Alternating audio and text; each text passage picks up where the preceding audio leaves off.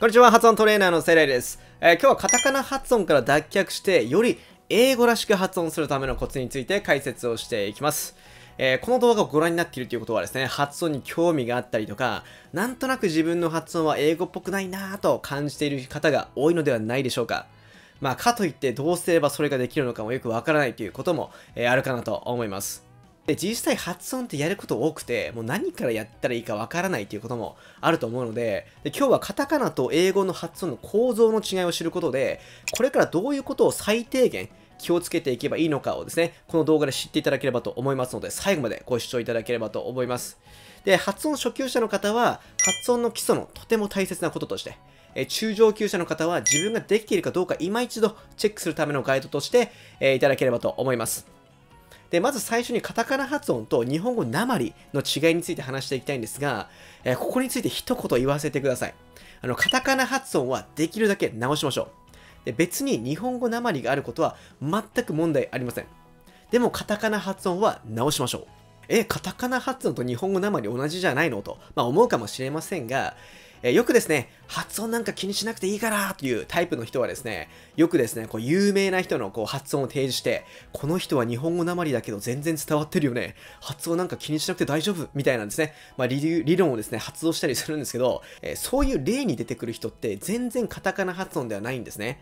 英語の発音の特徴をしっかりと捉えた上で、え発音していて、まあ、ただあのネイティブじゃなくて、ちょっと日本人っぽさがこう残ってるだけっていう感じなんですよね。で、カタカナ発音っていうのは、日本語の発音パターン、日本語の発音感覚のまま英語を話しているっていうことになりますので、もうだいぶ英語本来の発音から遠ざかってしまいます。え例えば、前回の動画でカタカナ発音に影響を受けやすい単語10個というテーマで、えー、まあ、解説したらですね、えその単語の発音を聞いてみてほしいんですけど、アイロン、アイアン、ヨーグルト、ヨーグルト、ユーモア、ヒューマー、チョコレート、チョコレート、コントロール、コントロール、ラグジュアリー、ラクシュリー、サラダ、サラダ、チケット、チケット、グローブ、グローブ、アレルギー、アレルギー。かろうじて似たように聞こえるような、まあ、単語もあれば、え、同じ単語なのぐらいですね。もうそもそも全然違う単語に聞こえるっていう単語もいっぱいあったかと思うんですね。え、これくらいカタカナ発音と英語の発音っていうのは違うんです。なので、発音練習をして、カタカナ発音からは脱却しましょう。そのためのコツを3つ解説をしていきます。カタカナ発音から脱却するため、一つ目のコツは、英語は必ず強弱をつけましょう。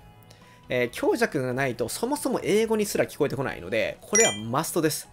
まあでもちょっとこう恥ずかしいなっていう気持ちもわからなくもないです。中学校でボランティアっていう単語は、ボランティアって発音するんだよと教わった時なんかですね、なんじゃそりゃと思いましたよ。え、何その変な発音、恥ずかしいみたいな、はい、感じもまああるんですけど、まあ、英語っていうのはですね、この強弱がある。もうこれがもう英語の特徴になりますので、これはですね、もう絶対必要なものになっていきます。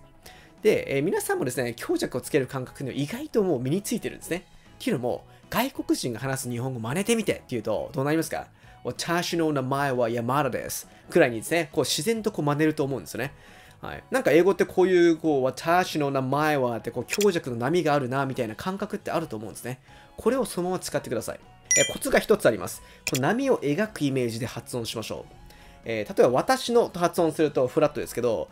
私のと発音すると、なんかこう波ができた感じっていうのがありますよね。えー、この感覚を使って、えー、my name is これフラットですけど、my name is My name is みたいな形でですね、波を描いていけると、その強弱の感じが出てくるので、すごい英語らしくなっていきます。えー、カタカナ発音から脱却するための2つ目のコツ、えー、語末に母音を入れないようにしましょう。はい。えー、どういうことかというと、さっき出したカタカナ発音で、例えば、サラダがサラダ、チケットがチケットのようになるんですね。で何がカタカナっぽさを強くしているかというと、最後の母音なんです。英語は salad だと最後 D で終わってるので、d i salad チケットも T で終わってるので、ticket ticket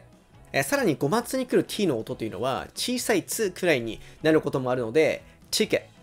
ticket のようにこうグッと止まった感じで終わることもあります。で、英語はですね、こんな感じで最後が死んで終わることめちゃくちゃ多いです。でも日本語の場合は、ほぼ必ず母音で終わるので、どうしても最後に母音足しちゃうんですよね。で、その瞬間カタカナになるので、え最後、シーンだけで終わる。そんな練習をしてみましょう。例えば、and。カタカナだと and、ド、ドになりますが、え強いこのドットと出さずに、弱い d、ドゥドゥ、ドゥド、軽く突起これぐらいで、ドゥド、and、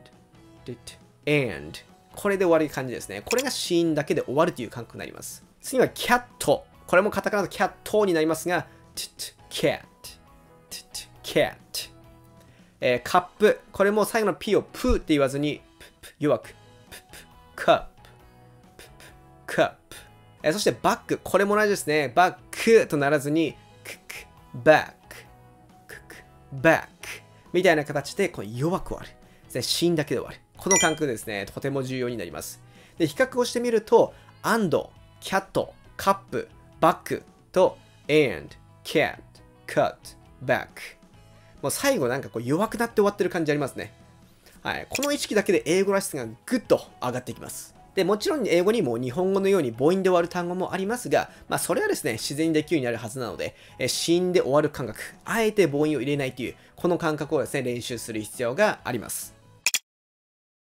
えカタカナ発音から脱却するための3つ目のコツは、音の数を合わせることです。音の数、何かというと、例えば、チョコレートという単語は4つの音。まあ、厳密に言うと4つの母音。チョコレート、お、お、え、おですね。この4つの母音から構成されていますが、英語の場合は、チョコレート、お、え、チョコレート、あ、え、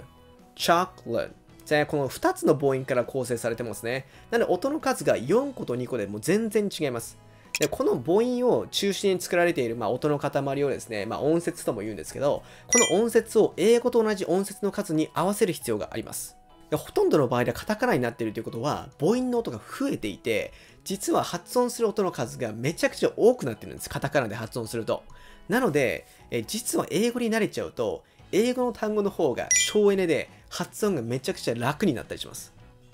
例えば、コントロールですね。こちら、コントロール、4音節になりますね。で、これも英語だと、control、2個だけになります。比較をしてみると、コントロール、control。ね、こっちの英語の楽ですね。えー、3つのポイントをまとめていくと、日本語というのは、えー、強弱がそんなにない言語で、母音をいっぱい使っているというのが、えー、カタカナ発音の特徴になります。えそして、英語らしく発音するためには、強弱をつけること、余分な母音は追加せずに、音の数を合わせて発音すること。これがカタカナ発音脱却には必須となります。ここからさらに日本語と英語の母音の違いとか、子音の違いとか、まあそういうこともですね、入ってはくるんですが、この3つの意識さえあれば、ひとまずですね、カタカナっぽさっていうのはだいぶなくなっていきます。ぜひ前回紹介した10個のカタカナの動画をですね、もう一回ご覧いただくと、今回の内容がさらに理解が深まりますので、そちらも見ていただければと思います。毎週の週末に発音に関しての動画アップしますので、